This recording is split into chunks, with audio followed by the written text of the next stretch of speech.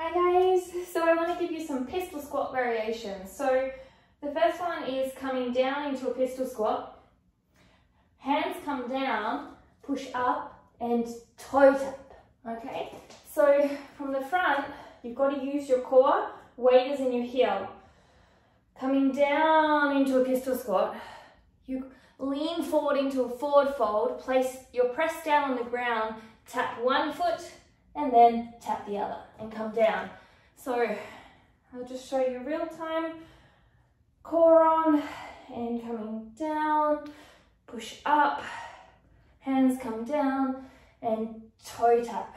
So you can see that as you do it, weight is in the heel, you're pushing back using your glutes to activate and your core and hip flexors are pulling up. So coming down, forward fold, coming up and toe tap. So this is a great variation if you're a handstand player. Another variation if you are a handstand player is to use your pistol squats and kick up. So you're going from a pistol squat, pushing up, leg comes through into a warrior three with hands down and kick up into an L shape. You can also swap legs, bring the other leg down, come down into the L shape, bring your leg back through, stand up tall, make it a little harder, and come on down. So this is another great variation. If you're someone that's working on flexibility, you can always roll up your mat and have it underneath you on the ones we aren't transitioning through. Another good one, foot out and doing little pop-ups.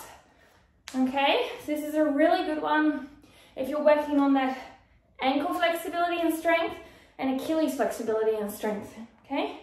Now to make this easier, hands come down and give you a little support.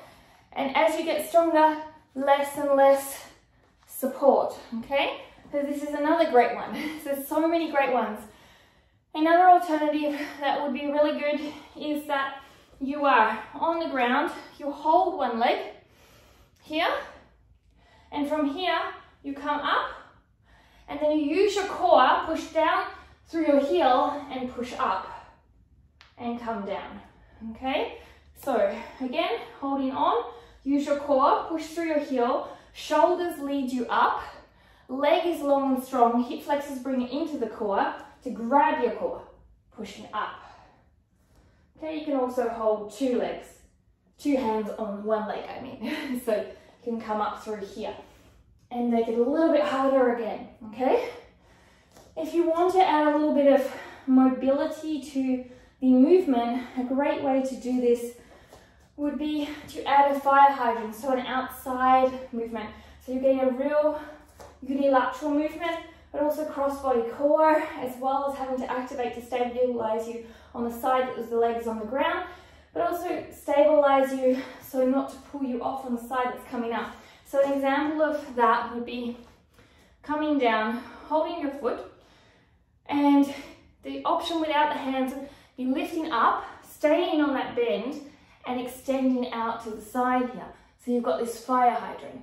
Coming back in, staying on the bend so you're keeping your core, and coming back down. Now if you need your hand to assist you, you can place it here, hand comes down, coming up here. Try and push up for as long as possible before your hand comes down and extends out to the side. So when you can see the extension is all through the leg and the other leg is both coming into the core for this contraction. So hand is extending, lifting up, you're not standing up full, and then you've got to have a stable leg here that comes up into the core and a stable core that extends this leg out, okay? And coming back down. So this is a really good one if you are working on your core. Another good one for more momentum, if you're still working on them and need a little momentum, is rolling back and coming up, okay? So it's allowing you that momentum to roll on down and roll back. So rolling, if you can't quite get up on your own, this is a perfect one for you to do that will allow you that space and grace of a little bit of momentum.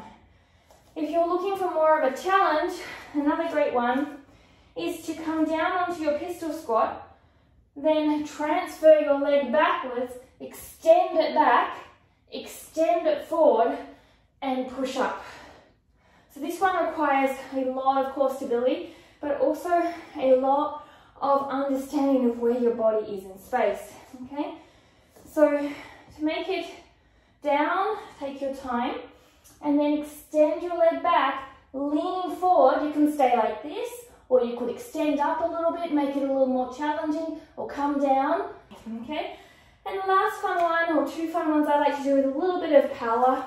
One is a tuck jump, coming down to pistol, so you're jumping up, and then you're coming down. So you can feel my legs are... So from here, you're getting yourself set up, leading with intention, and jumping forward, holding still, making sure you're feeling comfortable before you push up and coming down. So if you're into pistol squats, here is a few advanced movements to get you going. If you are still learning the pistol squat, I advise you to take time to start